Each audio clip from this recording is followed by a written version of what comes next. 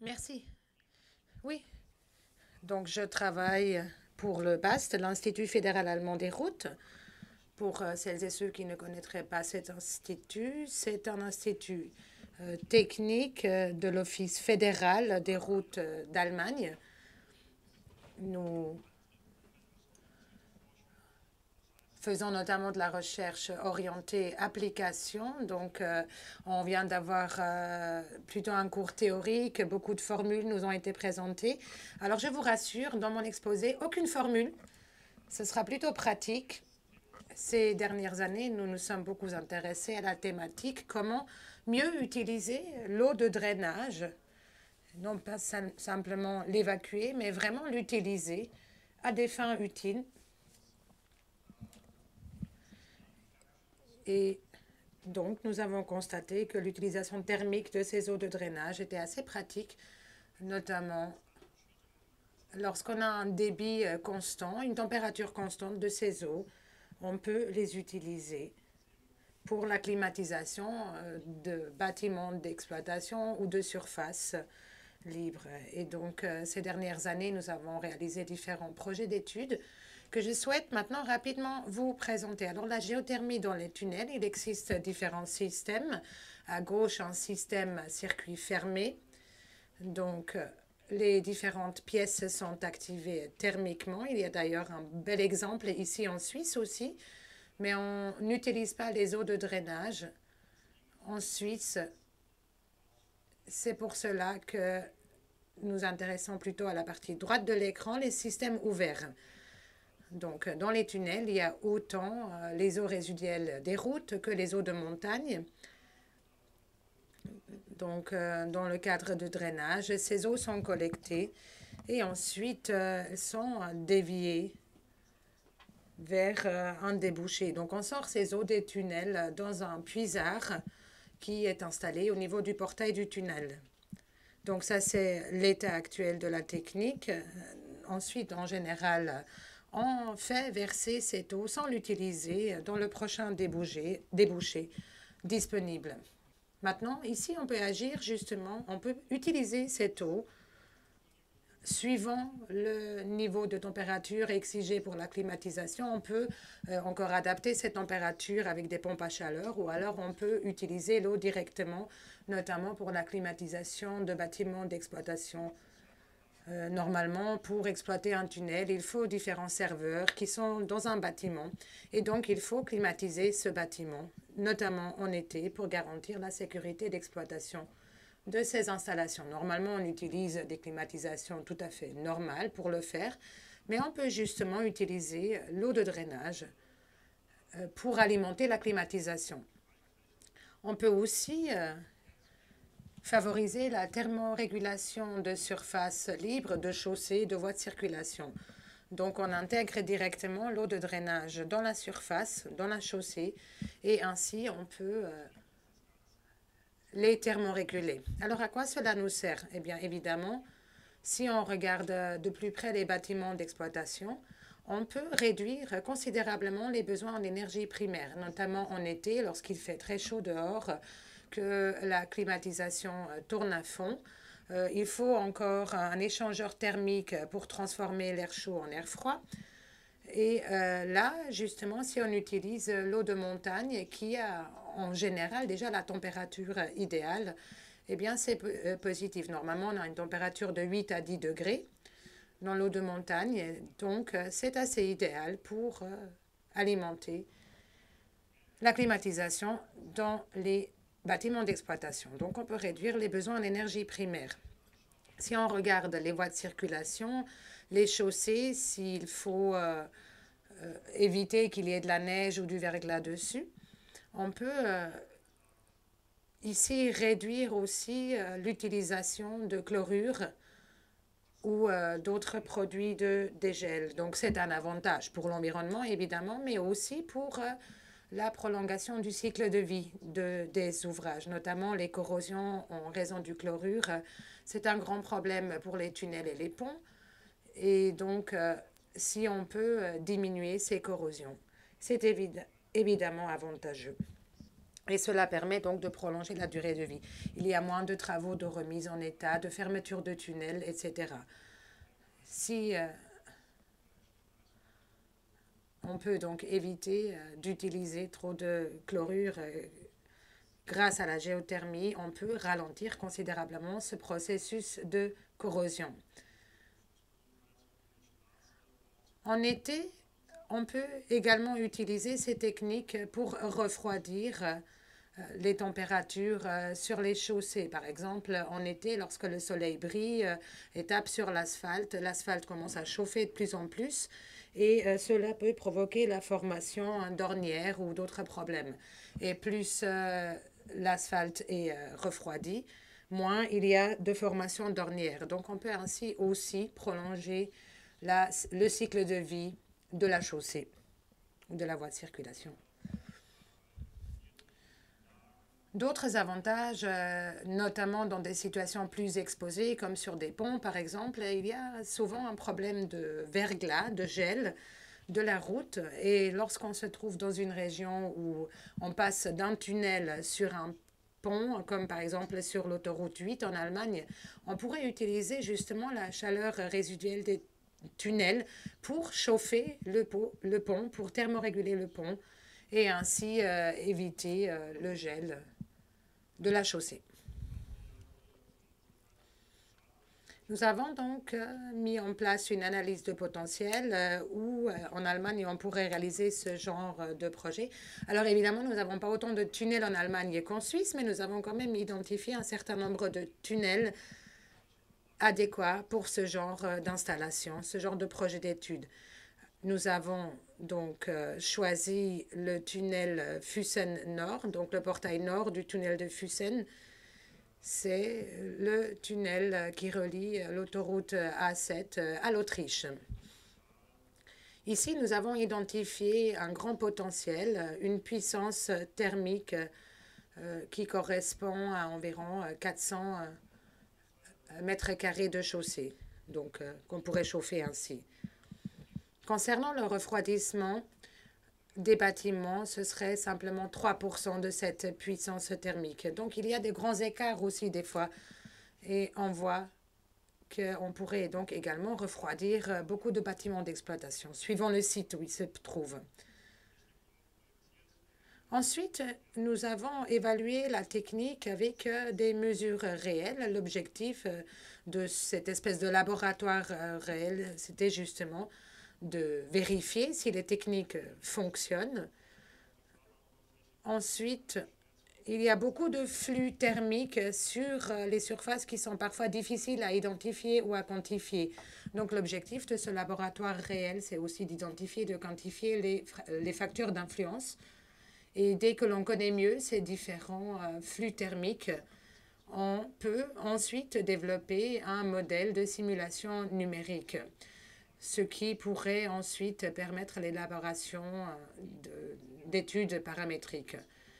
Et puis ensuite, en fin de ce projet de recherche, c'est où nous sommes actuellement, l'objectif c'est de développer une aide à l'implémentation pour tous les utilisateurs, donc notamment l'administration, les, planificateurs, de vraiment partager nos expériences pour euh, pouvoir réaliser ce genre d'installation aussi euh, sur d'autres sites. Concernant la réalisation technique, euh, la voici à l'écran. Nous avons donc ici la surface d'exploitation devant le portail nord du tunnel de Fussen. On voit donc en haut à droite euh, l'autoroute direction Allemagne et de l'autre côté direction Autriche.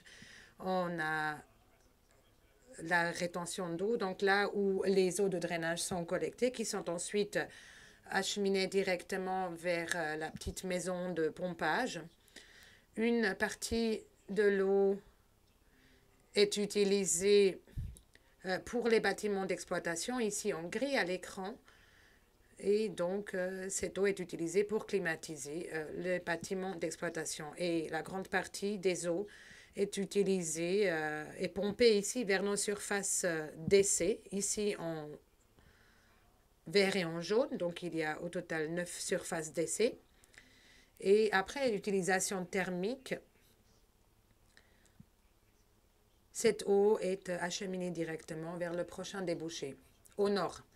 Évidemment, il fallait installer aussi un système de mesure. Donc, on a installé différents capteurs de température, une station météo qui a dû être mise en place puisque, euh, parce que la météo a évidemment une influence directe sur les flux thermiques. Les, euh, quantités, enfin, le débit est également mesuré et on se base également sur d'autres stations météo euh, en Allemagne pour pouvoir utiliser les avertissements de verglas, par exemple. Donc, nous avons au total euh, six surfaces euh, bitumineuses et trois surfaces en béton. Euh, une surface de référence.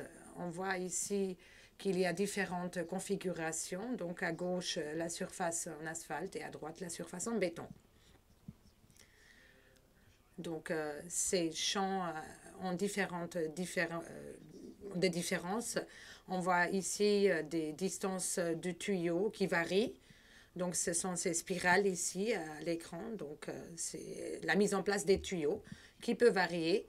Mais non seulement les distances, mais aussi les profondeurs des différents registres tubulaires peuvent varier.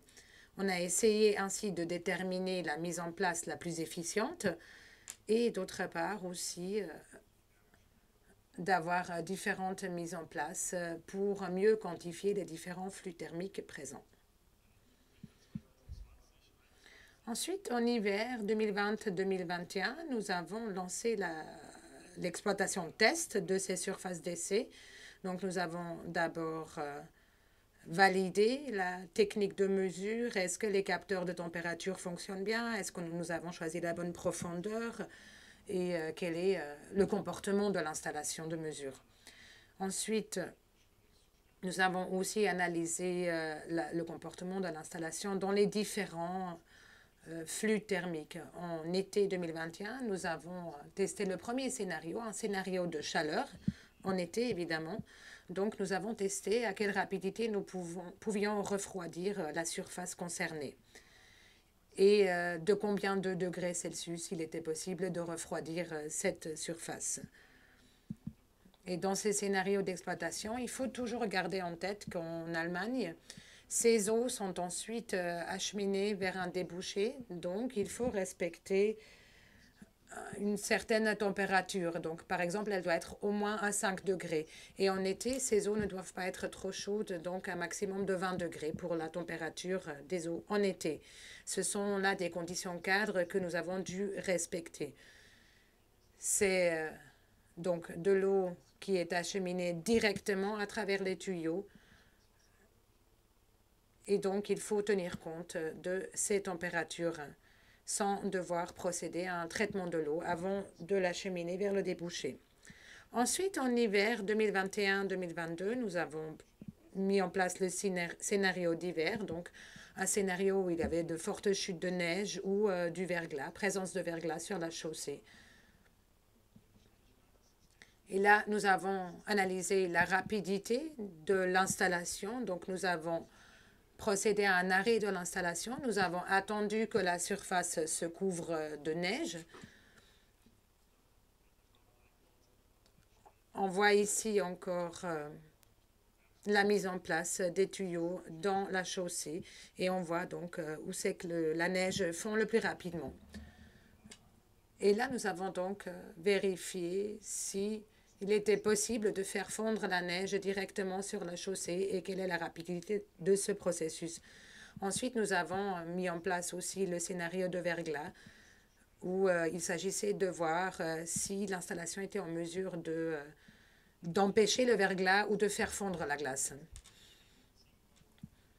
Voici donc quelques expériences euh, de notre test d'exploitation. Vous voyez ici à l'écran, encore une fois, une surface d'essai.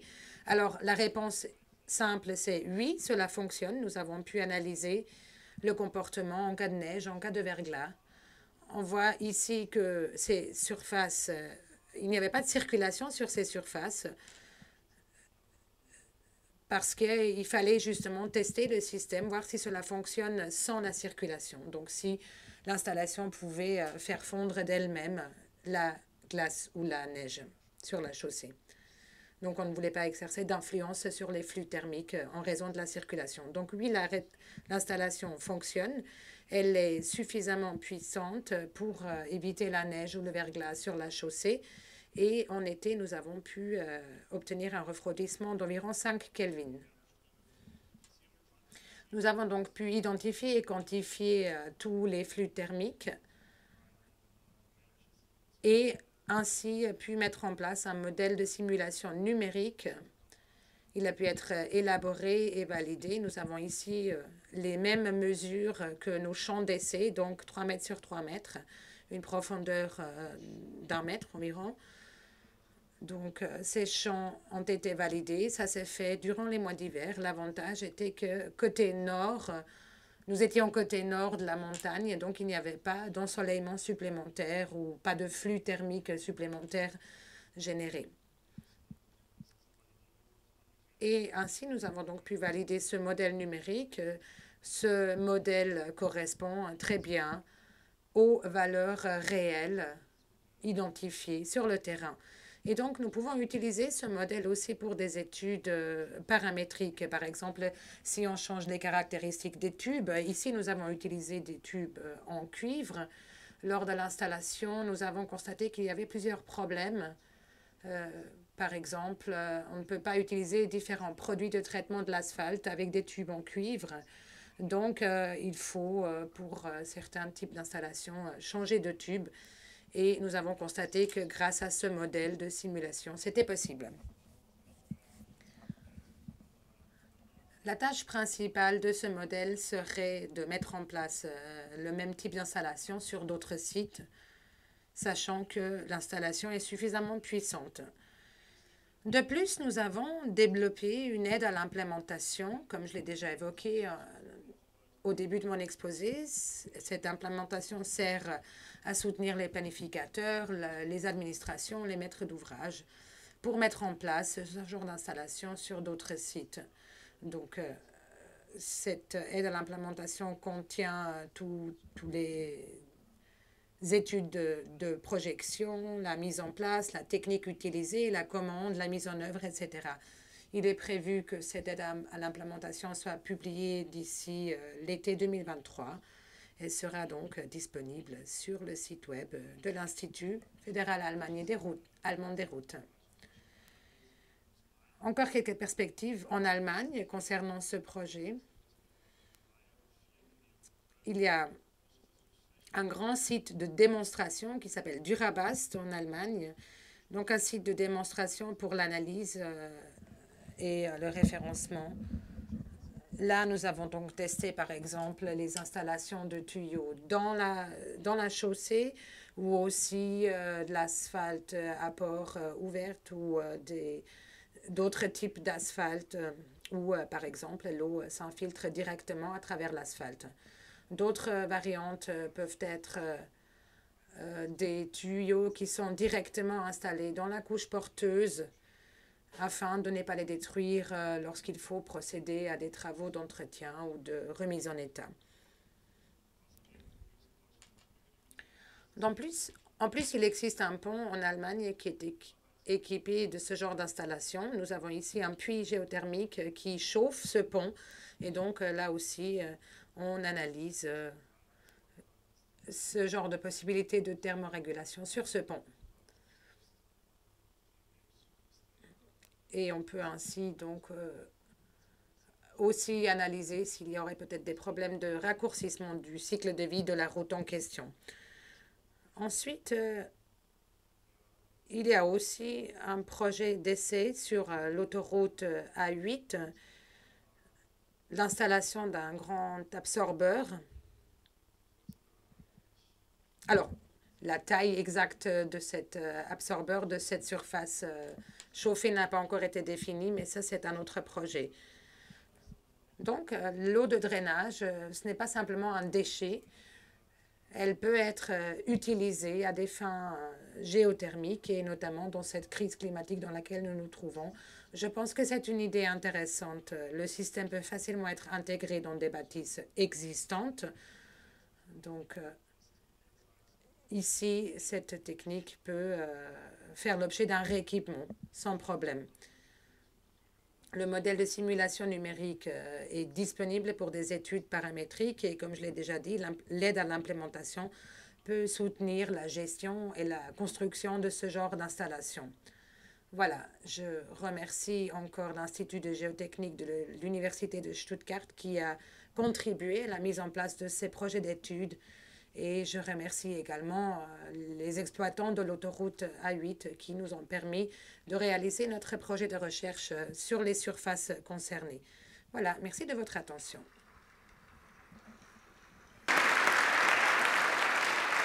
Herzlichen Dank, Herr Hochstein, für diese spannenden Ausführungen.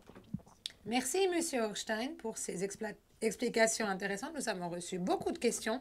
Nous n'avons pas beaucoup de temps d'y répondre. Nous allons choisir deux questions et nous vous remercions d'y répondre brièvement. Première question. Pour un système ouvert, comment on peut euh, éviter l'infiltration dans le système de chauffage? Oui, alors nous avons analysé ce problème. Bon, ici, c'est un système fermé hein, dans la chaussée, donc euh, il y a moins de carbonate. Donc, euh, la pression interstitielle dans l'eau peut diminuer. Et donc, euh, la pression partielle CO2 diminue également. Alors, il y a moins de problèmes de fritage. Donc, la pression partielle CO2 dans un système fermé ne diminue pas. Et donc, finalement, cela ne crée pas vraiment de problème. Lorsqu'il y a des flux plus turbulents dans les tuyaux, là, ça peut être euh, plus euh, euh, problématique. Il peut y avoir des défaillances et à ce moment-là, il faudra procéder à un rinçage régulier pour éviter le fritage. Danke. Merci. Combien de mètres de route peuvent être chauffés avec euh, ce genre, ce genre d'installation? Est-ce que cela s'arrête au portail ou est-ce qu'on peut aller plus loin? Alors, concernant le tunnel euh, de Fussen, donc on est à 400 kW, cela suffirait pour chauffer environ les 200 mètres avant le portail du tunnel.